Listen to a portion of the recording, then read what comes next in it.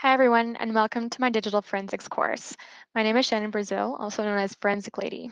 I will be facilitating this course, and I'm really excited to see that be able to share my knowledge and experience with everyone. We almost have 3,000 students registered already. About me, I'm an associate director, um, incident response at a cybersecurity and digital forensic firm. I've been in incident response for three years, and my background is digital forensics. I worked with the RCMP, Royal Canadian Mounted Police, for eight years.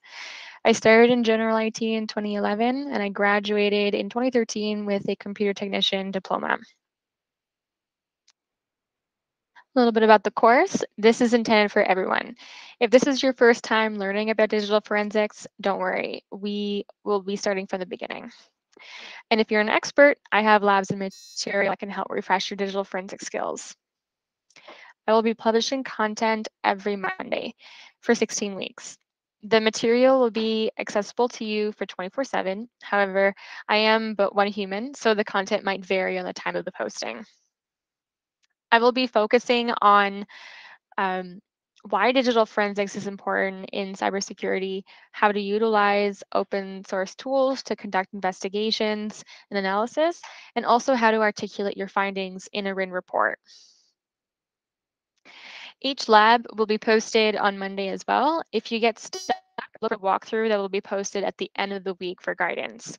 Should you have any trouble accessing the videos, you can find them on my YouTube channel. You may connect with me via LinkedIn or Twitter. And if you have any questions, please submit them through the classroom, either a comment or a private message. I also want to remind everyone that this course is free and it's not registered course within any educational institution. You will not be receiving a certificate of completion nor credit for the work. This is simply a course for you to learn hands on digital forensics or brush up on your skills. So I hope everyone enjoys the course. Thank you.